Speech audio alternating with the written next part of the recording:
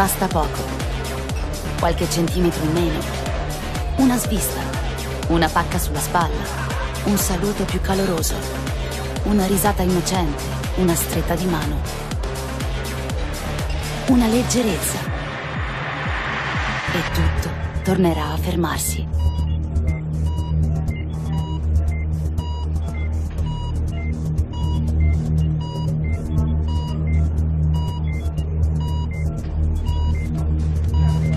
Il Covid-19 si combatte in ospedale, ma soprattutto fuori.